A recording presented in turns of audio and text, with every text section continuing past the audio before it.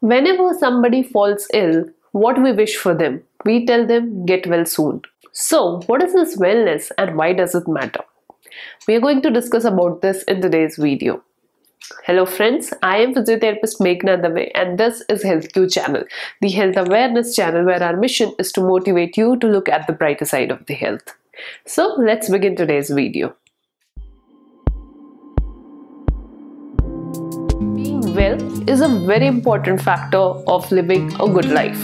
So, what is wellness? Wellness is nothing but is a process of becoming aware of making choices that is towards healthy and fulfilling life. Wellness enables you to live a life that is balanced, which is fulfilling, and which covers all the aspects of aspirations, of emotions, of achievement in your life. If you look at the definition according to WHO or its World Health Organization, wellness is defined as state of complete physical, mental and social well-being, not just merely absence of a disease or infirmity. When it comes to National Institute of Wellness, it has defined wellness as an unconscious self-directed and evolving process of achieving full potential. But now the question arises why wellness matters? Wellness is one of the most important aspect of life that one should ensure or else should aim to achieve at. Wellness enables you to live a higher quality of life.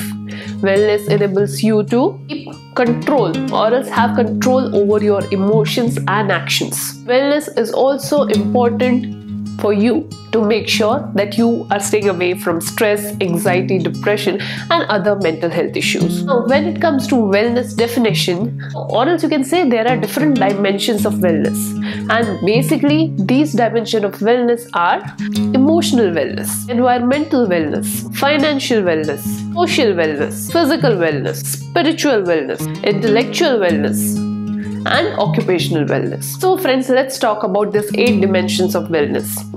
The main core dimensions of wellness are something if you are able to attain, then you would be able to live a very well balanced lifestyle that not only keeps you healthy, wealthy, wise, but at the same time, you will be always happy, which is the most core emotion that we want from our life. So what are these eight dimensions? Let's have a look.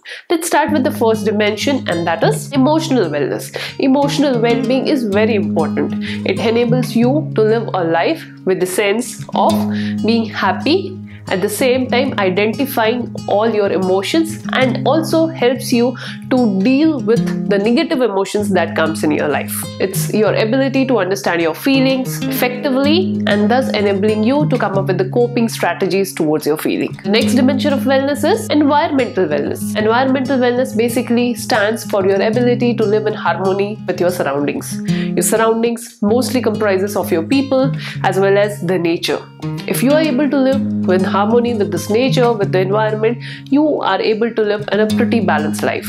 Environmental wellness is your ability to live a lifestyle which is respective to your surrounding and encourages you to interact with your surroundings in a positive manner. Financial well-being.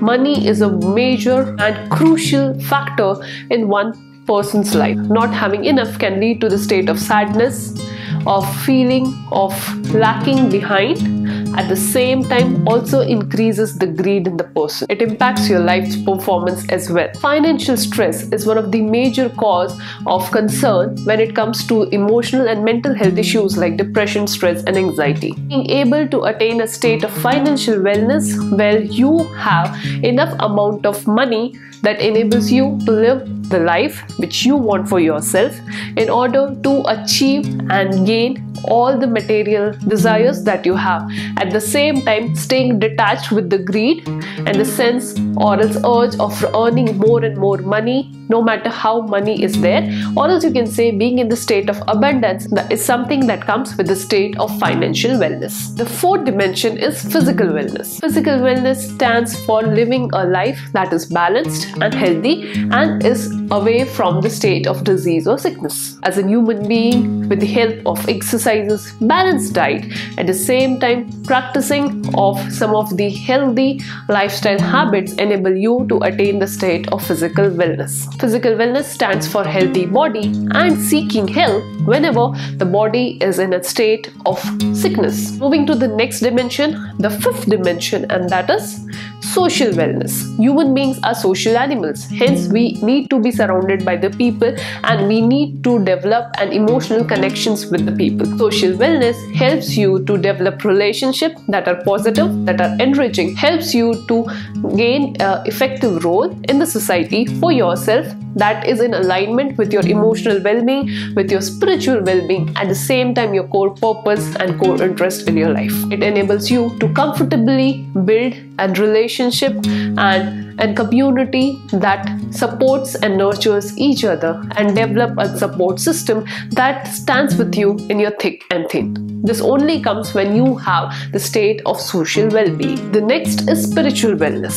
Spiritual wellness is being able uh, to be aware of your reason or its core purpose of being in existence spiritual wellness, once you are able to attain, you know what actions you need to take that are in alignment with your core purpose and the life.